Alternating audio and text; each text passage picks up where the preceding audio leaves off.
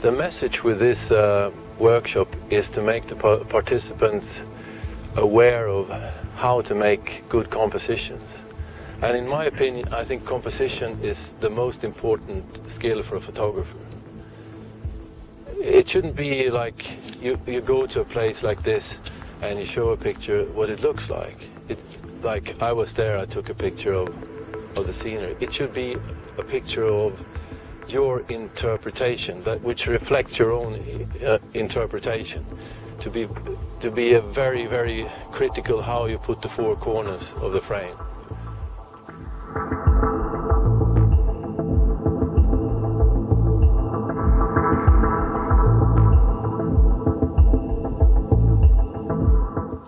Think it's very important for me to to stand next to every participant and show him or her uh, my ideas, my philosophy, how to make pictures, and we look together in the viewfinder.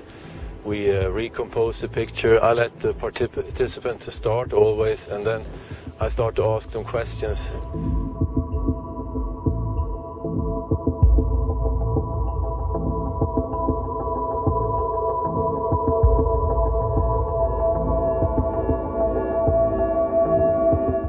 I picked Iceland as the number one choice for my uh, landscape photography for one big reason. There is nothing like it. And uh, wherever you go, you get surprised. And today we passed through uh, the most incredible landscape I've seen through all my years of traveling all over the world.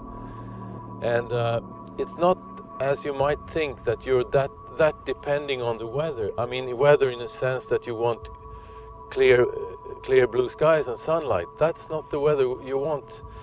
Uh, in order to get the right impression from the landscape, I think you benefit from overcast conditions, a pretty moody feeling, because it goes very well together with the landscape in front of you.